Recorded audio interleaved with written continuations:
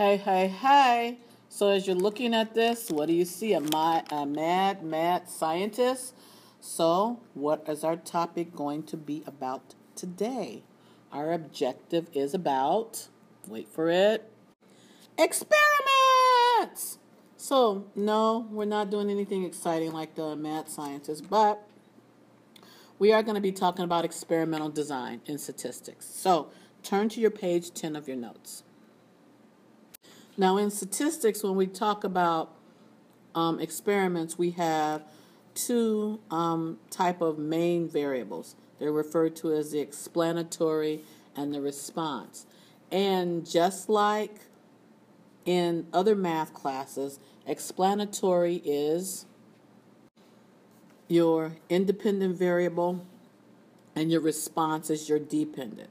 So basically your input and then your output, your final results. Now that's just general what um that's basically general very general for math and gen, um in general. Oh wow. Find another word, Yarbrough. Okay, but I want to know about specific types of um, studies that are done in statistics. So our next question is, what is the difference between observational study and experimental? Um, and here, observational, there's no treatment given to the individual. You're just going to observe. So, like for instance, if I want to, there was a movie out in which this um, this producer literally watched this young man from ages to like four to teen.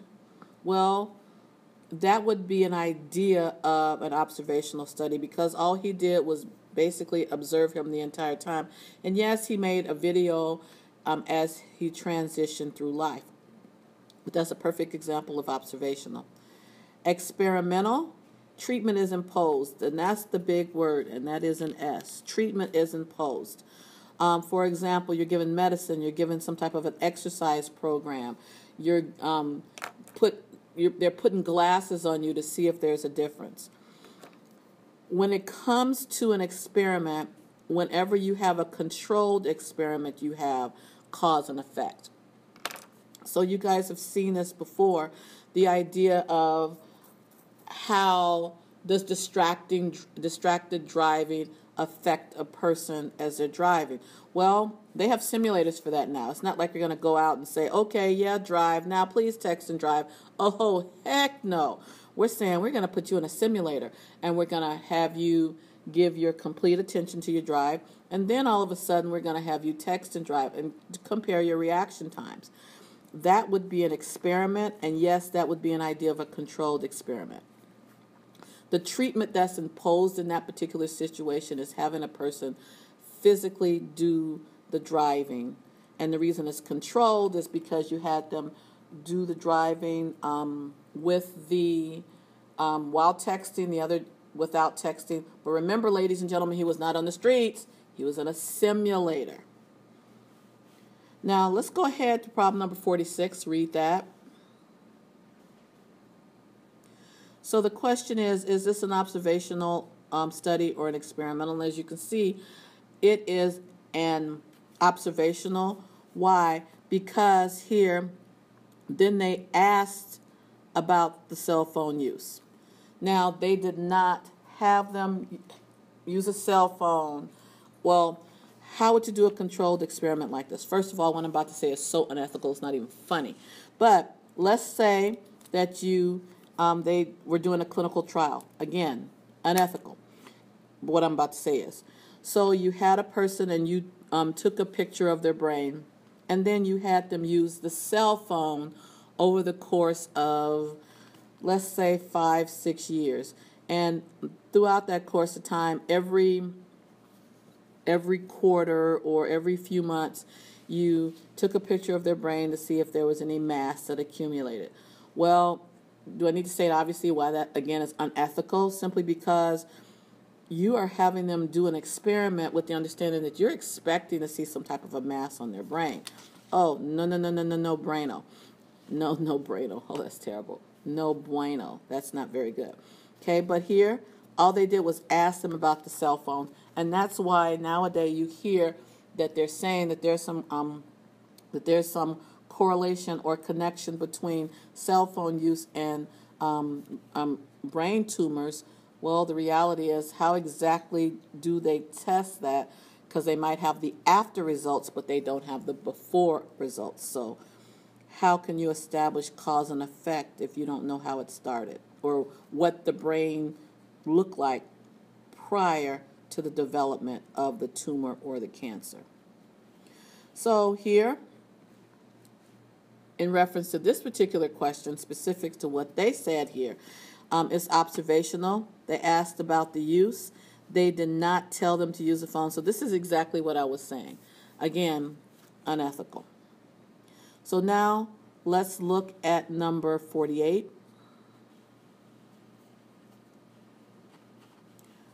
Okay, so they're asking us right here to determine um, if this um, is observational or experimental. Okay, so don't see a treatment imposed, so a treatment is not imposed. At some point, my S's will look like S's. Don't wait for it, people, though. Okay, it said they followed them from infancy um, to sixth grade. Oh my gosh, I can't spell. I've got to change that word, infancy. Okay, it's changed. Um, so, as I was saying before, this is observation because they followed them. So, what is the explanatory and what is the response here? So, what is the um, dependent variable, which is the response? I like to do that one first. I like to know what the results are because once I figure out what the results were or the output, then I can work my way backwards and go, okay, that explains those results. That explains the response. So the response variable here, as you know, is the adult rating of the um, child's behavior. The explanatory, so what caused that response, what caused that result, the amount of child, um, the amount of time the child was in child daycare between the ages of, of birth to four and a half years. So this is why I like going backwards. It makes sense. This is what our response is. How, how did we get that response? That's how they got it, based on the ideology that they're considering more time um, looking at the period of time a child's in daycare. Okay, next part, part C. Does the study show child care causes more aggression? Well, where do you see an experiment? Where do you see cause and effect? And if you don't see that, what's your answer? Right. Your answer is no, you cannot. Because you need a controlled experiment. Okay? It was not, so therefore you cannot imply cause and effect. So remember, a treatment has to be imposed for it to be a controlled experiment. It was not, so therefore you cannot say that daycare causes aggression. Now, you might at some point be able to say that there's a correlation, but please remember correlation does not imply causation. So, in this one, no, there's no cause and effect. Now, turn to the page, but before we talk about lurking variables, I want to um, make sure that you understand this as we are talking about our different definitions. Okay, this is a a chapter that's heavy in definitions and vocabulary. So the bottom line is that, yeah, you use a vocabulary word, you must be able to explain it. So this is not just me saying this, this is the AP. Um, but the bottom line is if they say it, I say it too. So don't only don't just use it, explain it. And instead of um, so I shouldn't say instead of. So don't just say it, explain it. And if you um, say the vocabulary, explain it. And if you forget the word, just choose to explain it in context. So instead of relying on the vocab, if you're not 100% sure, you won't take the hit as much if you literally explain the situation in context. In a few minutes, we're going to be talking about the idea of confounded variable, but I'm just going to also say it here. I'm working a little backwards here. Okay, also, when we're talking about um, situations, and here is confounded variables, which we'll talk about in a minute. We have to explain how it's confounded. No, what is confounded? Well, before we talk about confounded, we need to talk about the idea of a lurking variable in general. What is a lurking variable? It's a variable that is not explan- uh, is not an explanatory or a response. I should put that on there, but it affects the relationship between the variables. So, remember that situation that we had about the ice cream. Um, I'm sorry, summertime, and we had the summertime and this is what it looks like. We had summer time, and summertime causes more ice cream sales to increase, and then that's a up arrow. And then at the same time, summertime, you have more drownings. Now, here what, as we look at this, we know that summertime is, as I look at this, it says summertime causes more drowning, summertime causes more ice cream sales. What is our lurking variable in this case? Our lurking variable is the heat. So that's what I'm talking about when I when I refer to the heat is not a part of the explanatory nor is it a part of the response. Let me put RES there for the response. But it truly does um, affect the relationship between the variables. Now, this picture I just showed you was a picture of a confounded variable, very specific. Here, so confounded variables are two variables that are associated and affect the response. So here we can see that they are, okay, these are confounded. These two are associated. These two are associated. But the one thing that we can understand is that drowning does not cause ice cream sales to increase, nor does ice cream sales increasing um, um, affect drowning.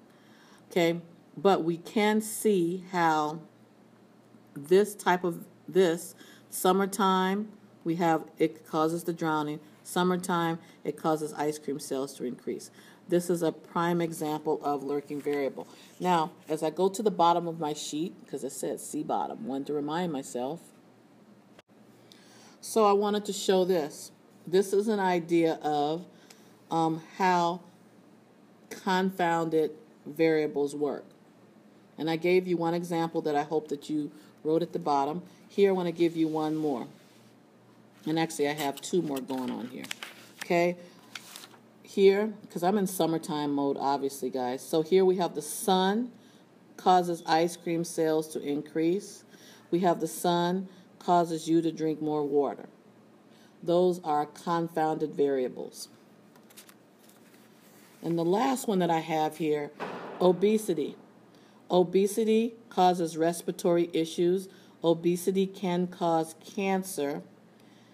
And I hesitate when I say this because even though both of these are true, in some type of cancers they cause respiratory issues, but